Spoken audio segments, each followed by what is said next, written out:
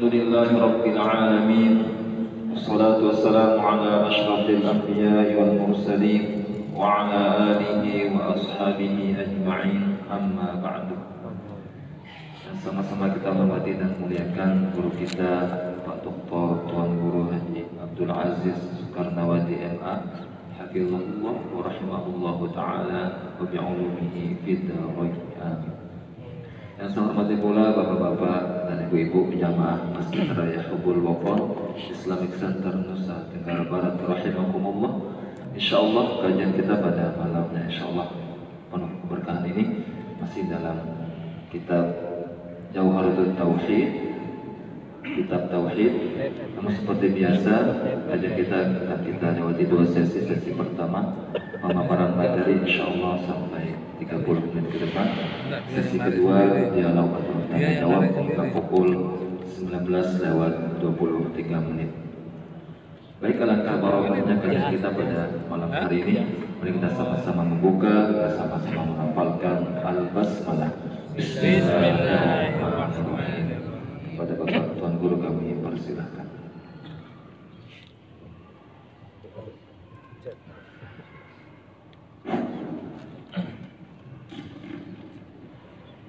Bismillahirrahmanirrahim. Assalamualaikum warahmatullahi wabarakatuh. Waalaikumsalam.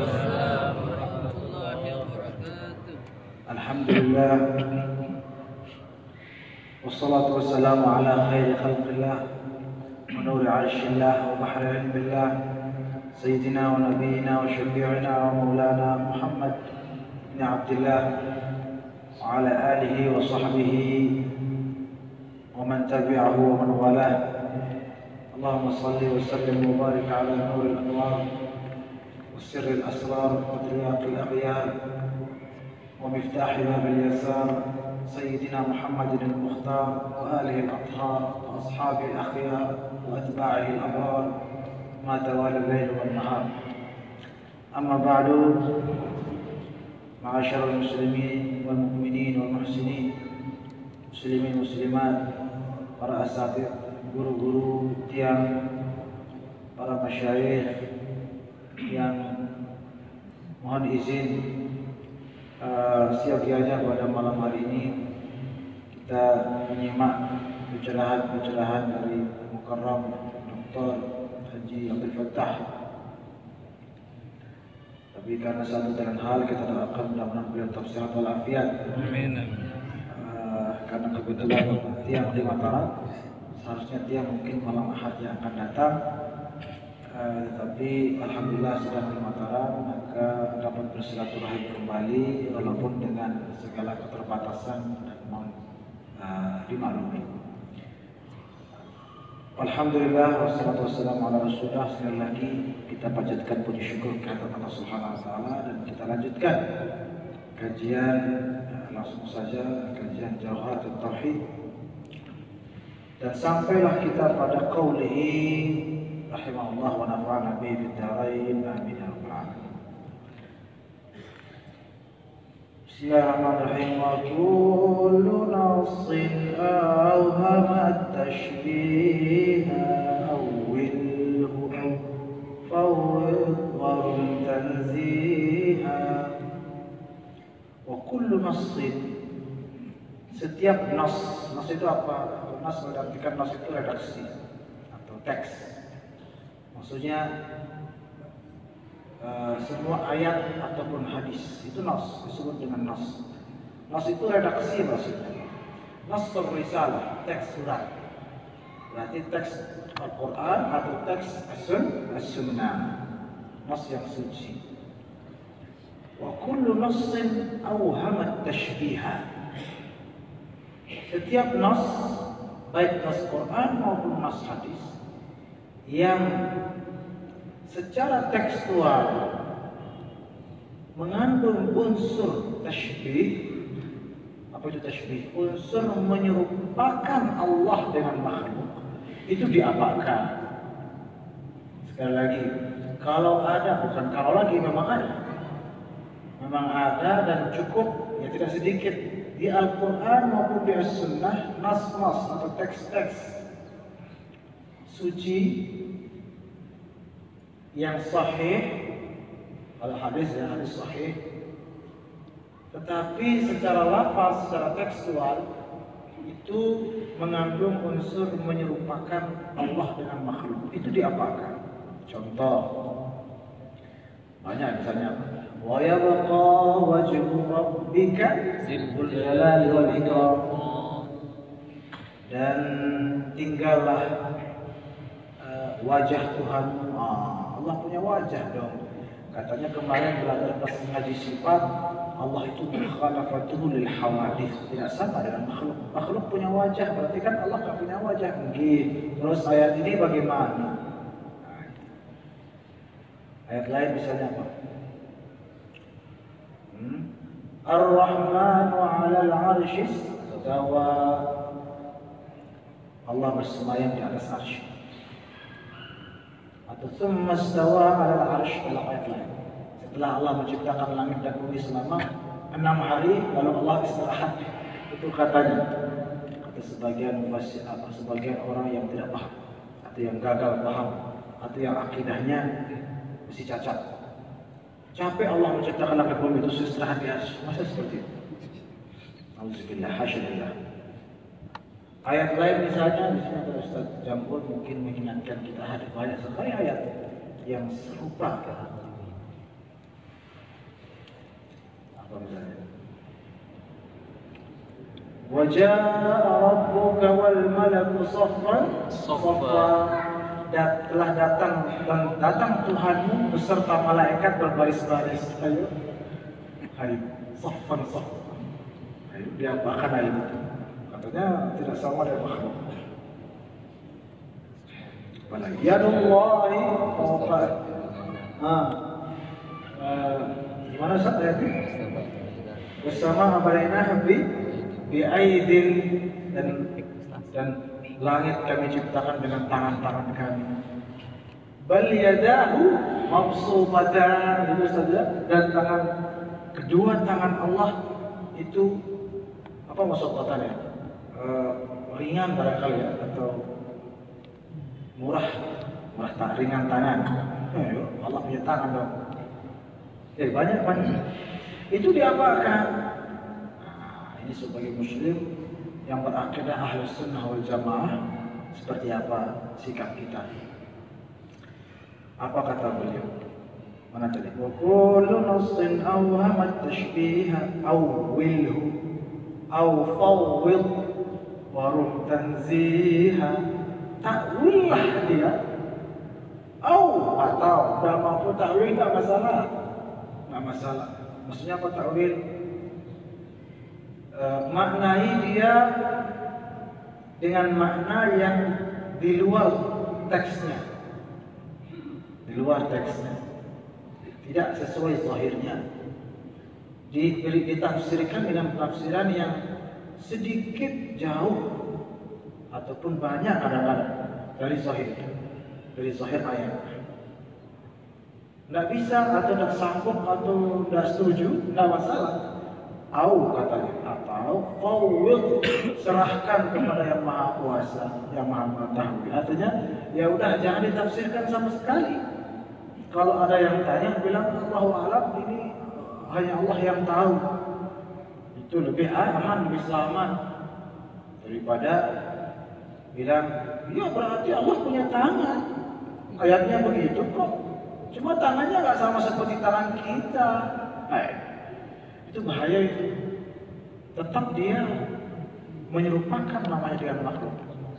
Kita bilang Allah punya tangan saja itu sudah menyerupakan dengan makhluk. Walaupun tidak sama dengan monyet punya tangan tidak sama dengan kita. Ya kan? Monyet punya tangan. Nggak sama dengan tangan kita. Jangan begitu. Jangan Allah pun dikatakan seperti itu. Kalau kita akidah al-sunnah Allah Maha Suci dari organ tubuh seperti kita. Karena Allah bukan makhluk, makhluk yang punya organ, punya ini, punya itu. Allah tidak punya. Terus gimana ayat ini? Oh, maknanya lain. Ada dua mazhab dalam ini. Sama-sama akidah kita. Ada dua pilihan. Ta'wil atau taf, tafwil. Ta'wil di ta'wil, tafwil di tafwil. Diserahkan, dipasrahkan.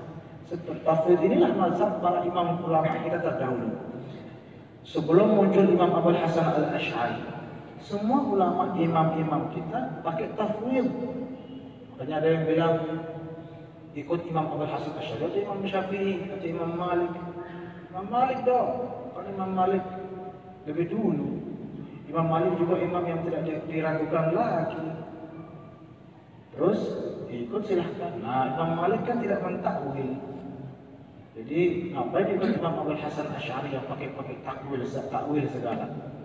Misal ada yang berpendapat begitu. Tegur dia, balas dia, wahai saudaraku, jangan kira mazhab Imam Abu Hasan Asy'ari hanya takwil saja. Dua mazhabnya ini kata beliau atau kata ulama Imam Al-Laqani yang berakidah Asy'ariyah kata beliau awil au fawil takwillah dia atau serahkan yang penting ini lanjutannya. Warum tanziha. Yang penting sucikan Allah dari segala yang tidak layak baginya. Dari segala yang layak bagi makhluk. Itu yang penting. Mau ditakwil, mau ditafwid, yang penting sucikan Allah dari makhluk. Bisa dipahami kan? Jangan Allah duduk bersemayam di atas arsy seperti saya duduk di kursi ini. Ada yang mengatakan begitu. Alhamdulillah min Zalik. Allah punya tangan dan lima jari juga, cuma nggak sama seperti tangan kita. Alhamdulillah zalik. Lebih baik seperti Imam Malik ketika ditanya tentang ayat Ar-Rahman dasar Allah bersama di atas arsy. Apa maksud wahai Imam Malik? Imam beliau menjawab apa? Uh, al-imanu bihi wajib was-su'alu anhu bid'ah. Imanilah dia, itu kewajiban. Tapi jangan bertanya bagaimana uh, detailnya, itu bid bid'ah.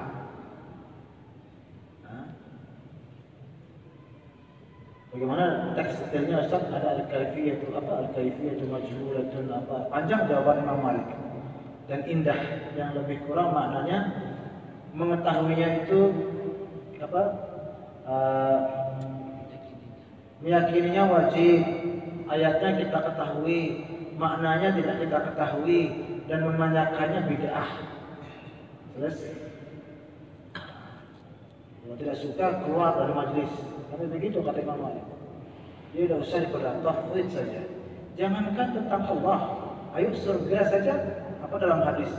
Mala ain ra'at, wala udhun sami'at, wala khatara ala qalbi bashar. Surga di akhirat sana. Mata nggak pernah memandang, telinga nggak pernah mendengar, tidak pernah terlintas di benak dan akan sanggup kita membayangkan seperti apa surga tetap salah. Itu surga padahal makhluk. Hmm? Nabi juga yang makhluk. La ya'arifu qadri illa rabbi. Enggak ada yang kenal saya kecuali Tuhan saya Tuhanku. Tidak ada yang mengenalku kecuali Tuhan jadi kita tidak akan menjangkau tentang surga tentang Rasulullah tentang alam barzakh. Seperti apa alam barzah yang katanya satu hari satu jam eh satu hari sama dengan 100 tahun di dunia tahap sementara setiap hari kita dikunjungi orang itu gimana itu? Apa melihatnya seperti dipercepat itu kalau video itu itu bagaimana sih? Nggak akan terjangkau menjangkau apalagi kalau kita berpikir dengan tentang zat Allah Subhanahu wa taala jadi jauh-jauh jauh-jauh. Uh, apa kata Imam Sayyidina Abu Bakar dan imam-imam lain? At-tafakkur fil khalqi idrak wa at-tafakkur fil khaliqi isyrak. Bertafakkur tentang makhluk insyaallah menjangkau. Bertafakkur tentang khaliq, tentang zat khaliq bukan hanya tidak menjangkau, isyrak malah bisa terjerumus ke dalam syirik, naudzubillah. Jadi antara dua itu fawwid awil atau Imam Abu Hasan Al Ashari kenapa sih memilih takwil padahal imam-imam terdahulu sebelum beliau Imam Abu Hanifah, Imam Malik, Imam Syafi'i, Imam eh semua imam-imam Semuanya memilih tafwid ayat-ayat seperti yang tadi kita sebut-sebut. Semua ulama imam-imam besar itu memilih Allah yang tahu, nggak usah dipikirkan, nggak usah didalami. Kenapa Imam Abdul Hasan Al Ashari yang dianut atau yang diikuti akidah ajarannya oleh mayoritas lebih dari 95 persen dari di dunia ini mengikuti beliau, kenapa milih takwil? Berarti kan menentang ulama, bukan menentang. Itu menurut sebagian orang yang tidak senang dengan Asy'ari.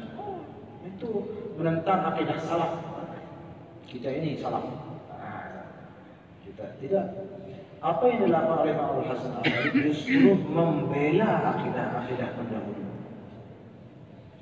Membela karena pada zaman beliau banyak bermunculan orang-orang yang yang, yang bermacam-macam aliran pemikirannya dan menentang akidah Islam dengan dalil-dalil logika. Quran hadis ditolak sudah, ah, saya nggak percaya Quran hadis. Ini sejak muncul Mu'tazilah itu kan yang mendewa-dewakan akal. Datang penyelamat juru penyelamat akidah Islam yaitu Imam Abdul Hasan Al Ashari. Apa kata beliau? Sini kalian yang hanya percaya sama akal, saya mampu menjatuhkan kalian dengan akal kalian sendiri. Luar biasa ya Hasan. Makanya Imam Hasan Ashari muncul untuk melengkapi argumen-argumen akidah Islam yang semulanya hanya aku dalil-dalil nakli saja dalil Quran dan Sunnah sehingga yang tidak percaya sama Quran Sunnah tidak akan percaya sama Islam. Maka muncul Allah Syarif melengkapi dalil-dalil akli saya itu juga mampu menghadirkan dan sangat-sangat kuat sangat-sangat melemahkan siapa pun yang apa namanya yang mencoba untuk menentang. Dan terbukti berarti Imam Al-Hasan bukan menentang ulama terdahulu tapi membela akidah Islam, membela agama dan melengkapi argumen-argumen para ulama-ulama terdahulu. Coba misalnya ayat-ayat yang tadi coba kita sama-sama tahu. Bukan kita yang tahu, coba kita ketahui apa saja tahunya para ulama. Mungkin sebagian kita membaca di sini kita berbagi. Sudah kedung kita sebut ayat-ayat yang mungkin sebagian pasar terus apa belum maknanya ayat-ayat tadi. Contoh ayat misalnya tadi Ar-Rahman ala arsy istawa. Yang milih takwil silahkan. Yang milih takwil silahkan. Kalau yang milih takwil, apa dong takwilnya? Ar-Rahman istawa itu tidak selamanya buka dong kamus bahasa Arab. Orang-orang Arab juga harus sadar lah. Yang namanya kata itu tidak makna satu saja. Istawa selalu dimaknai bersemayam. Padahal istawa bisa berarti menaklukkan bisa berarti menguasai mana istaula dalam kamus bahasa Arab saja maknanya tidak hanya duduk begitu. Kenapa terus memilih duduk? Sama seperti sebagian ulama yang tidak setuju Rasulullah itu ummi yang artinya tidak bisa membaca tidak bisa menulis. Masa sih Rasulullah itu tidak bisa menulis katanya tidak mungkin. Beliau itu mengetahui segala-galanya di alam semesta masa membaca menulis tidak tahu memang masuk akal juga ya juga sih beliau tahu dan memang dalam satu riwayat beliau pernah menulis beliau pernah terus ummi itu gimana nah, mereka mengatakan siapa bilang juga ummi hanya artinya tidak bisa membaca dan menulis banyak makna ummi yang lain buka kamus ummi salah satu maknanya berasal dari ummul qura disebutlah ummi dan makna-makna lain. Nah, seperti itu. Makna daripada istawa, siapa bilang cuma artinya duduk doang, banyak makna lain yang lebih pantas untuk zat Allah SWT. Seperti berkuasa, berkuasa. Dan Ar-Rahman di sini siapa bilang harus zatnya? Ar-Rahmanu ala arsy istawa. Yang Maha Rahman bersemayam di atas arsy. Kenapa harus ditafsirkan zatnya yang Maha Rahman? Kenapa enggak isimnya Ar-Rahman menguasai dan memimpin semua asma-asma Allah yang lain di atas arsy? Kan lebih aman. Itulah beberapa contoh tentang tak takwil yang mana intinya adalah rum tanzihat. Sucikanlah Allah. Jangan sampai ada yang menggiring umat Islam kepada menyerupakan Allah dengan makhluk. Nanti orang bilang, oh berarti sama kayak kita duduk begini, Nah, hati-hati. Apa yang lain tadi yang sudah kita kita sebut? Wa yabqa wajhu rabbika dzul jalali wal ikram dan tinggallah kullu man 'alaiha fan semua di atas permukaan atau alam semesta ini akan binasa kecuali wajah Tuhanmu yang maha mulia. Punya wajah. Di situ para ulama mengatakan wa ya buqa rabbika. Dan tinggallah zat Tuhan. Tidak mesti wajah itu muka, muka gitu. Face, tidak mesti. Yadullahi fawqa aydihim tangan Allah di atas tangan mereka. Apa kata ulama tafsir? Qudratullahi fawqa qudratihim. Kekuasaan Allah di atas kekuasaan mereka. Karena dia aman begitu. Itulah akidah Ahlussunnah Jamaah yang berjuang terus bagaimana menjauhkan zat Allah dari sifat-sifat makhluk. Tidak seperti di non Ahlussunnah Jamaah. Tidak takut takut. Allah punya tangan, Allah di langit. Ini Allah di langit juga bahaya. Padahal dalil mereka ada. Tapi lihat cerdasnya ulama ahli sunnah jamaah. Mereka bilang, ayo dalam Al-Quran, dalam surat Al-Mulk, Ustaz. Sama' ya. An yakhsifa bikum al-ard fa idha hiya tamur. Am amintum man fis sama'i an yursila alaikum al-ayat. Apakah kalian menjamin diri kalian aman dari yang dari aman dari yang ada di langit Allah. Apakah kalian bagaimana menerjemah? Amin tumam fis. Apakah kalian menjamin kalian aman bahwasanya yang ada di langit akan memusnahkanmu? Siapa yang ada di langit? Allah. Jadi mereka bilang Allah di langit, kita akidah kita tidak Allah maha suci dari tempat. Terus ayat itu ayat itu diapakan kata mereka? Tapi kalian menentang Al-Quran tidak. Kami benar membenarkan Al-Quran itu, tapi kami tidak memahaminya sesuai zahirnya. Kami mentakwil supaya akidah kami selamat, supaya jangan sampai kami terjerumus kepada menyerupakan Allah. Ayat seperti apa takwilnya? Mereka tanya. Amintum man sama' Sebelum kita takwil, tanya mereka. Oke, Allah di langit ya? Iya. Ayatnya tadi kan? Ya. Terus bagaimana dengan ayat lain? Wahwallahu fis samawati wa fil ard. Ada begitu ayat sendiri. Dan dialah Allah di langit dan di bumi. Ayat itu diapakan? Berarti Allah dua tempatnya atau bagaimana? Bingung mereka. Ayo ayat lain. Wa huwa ma'akum aina kuntum dan dialah Allah bersamamu di mana pun kamu berada. Berarti tempat Allah nggak jadi di langit dong. Di mana-mana kita ada, di situ Allah. Jadi kita kita bantah akidah sesat itu dengan cara berdalih yang sama. Kalau bilang Allah di langit dengan dalil yang tadi itu sebagaimana ayatnya? Ma apa ma Najwa salatatin itu Ustaz apa ayatnya? Najwa salatatin illa huwa rabbihum. Ma yakunu min najwa salatatin illa huwa rabbihum wa la khamsatin illa huwa sadisuhum. Ada ayat begitu surat An-Najm. Tidak ada orang berbisik berdoa atau bertiga kecuali Allah sebagai ketiga sebagai keempat. Berarti ada di situ. Tadi katanya di langit, kok jadi sekarang di sini? Ayo bagaimana? Mereka yang jawab mereka jawab bagaimana oh maksud ayat itu Allah ada di mana-mana itu pengawasannya Oh, dua menit. Nah, dan seterusnya. Lah, itu sudah takwil sendiri. Itu sudah takwil sendiri. Wa ay wa ma'akum aina ma kuntum berarti Allah bersamamu di mana pun kamu berada bersama mengetahui apa? Mengetahui maksudnya. Ilmunya ya ilmunya Allah yang bersama kita. Itu sudah takwil. Kenapa amin man fis sama'i ay yakhsifa bikum tidak ditakwil? Masa suka-suka hati takwil ini takwil. Terus di ujung-ujungnya bilang menolak takwil. Padahal secara praktek mustahil kita men men men menghindari yang namanya takwil. Seperti yang pernah kita contohkan kemarin hadis sederhana al jannatu tahta aqdamil ummahat surga ada di bawah telapak kaki ibu. Ayo kalau mau ditakwil ke mana surganya? Eh makanya gimana ya? Orang yang menolak takwil itu aneh sebenarnya. Aneh sekali. Ayo al-jannatu tahta aqdamil ummahat.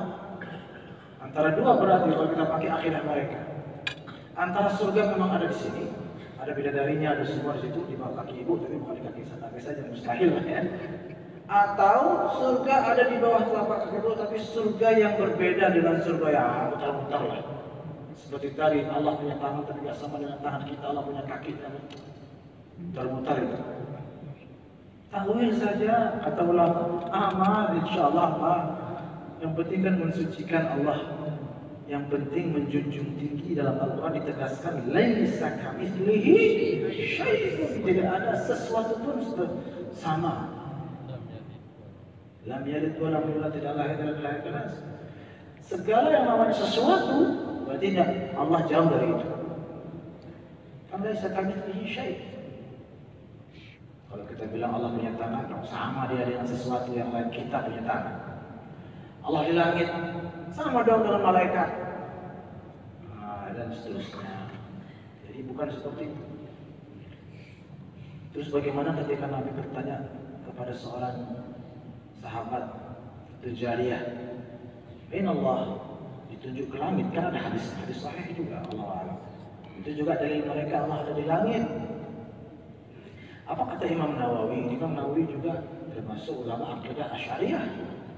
Eh, nggak usah kita sebut imam-imam akidah Asy'ariyah ini udah habis-habis. Sebut Imam Fakhruddin Ar-Razi, Imam An-Nawawi, Imam Ibn Hajar Asqalani, Imam Ghazali, semuanya itu akidahnya Imam Abu Hasan Al-Asy'ari. Yakin Apa kata uh, Imam Nawawi tentang ayat tadi? Ya, tentang hadis tadi bahwa Allah di langit. Rasulullah SAW kata Imam Nawawi ingin menguji karena pada saat itu semua orang menyembah berhala yang ada di bumi. Berhala sana, berhala sana, berhala sana. Rasul nanya, hei, yang mana Tuhanmu? Dari yang berhala-berhala ini mana Tuhan? Jawabannya, hmm. maksudnya apa? Tidak ada di sini ya Rasulullah. Tidak ada di sini.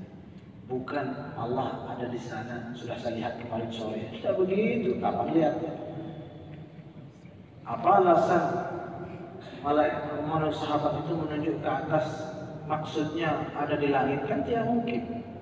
Kan nggak pernah ketemu juga. Jadi maksudnya berarti menunjuk ke atas yang nggak ada di bumi, nggak ada yang seperti orang-orang. Dan menunjuk ke atas wajar karena kalau berdoa kiblatnya langit. Seperti sholat kiblatnya Ka'bah. Kalau doa kiblatnya langit, bukan Ka'bah. Seperti Imam Malik berdoa menghadap makam Rasulullah SAW membelakangi kiblat. Ada orang yang akidahnya bukan ahli sunnah wal jamaah. Oh, kayaknya ke situ raja. Ada yang berani Imam Malik ini kan ulama besar. Gimana nih? Masa Imam sebuah tadi dicontoh sama orang? Coba.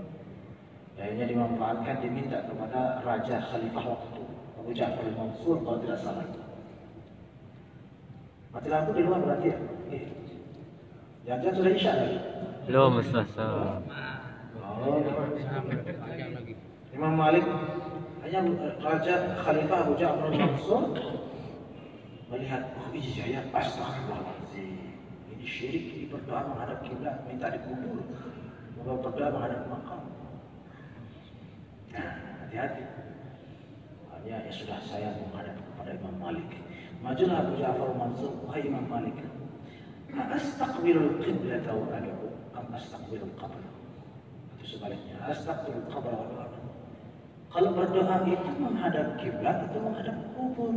Saya mau nanya ini wahai Imam. Jawab. Nanya tapi kan maksudnya nah, menyindir atau menegur. Apa jawaban Imam Malik? Boleh tasrif wajhaka anhu wa huwa wasilatuka wa wasilatu abika Adam. Kenapa kamu berpikir memalingkan wajahmu dari beliau? Sementara beliau adalah wasilah dan wasilah bapakmu Adam. Tanpa beliau kita tidak akan diciptakan. Tanpa beliau Nabi Adam tidak akan diampuni oleh Allah SWT. Seperti itu berani kamu palingkan wajahmu dari beliau. Itu dijawab. Bukan Imam Malik astagfirullahaladzim betul. Anda Waktu itu Imam Malik sedang apa?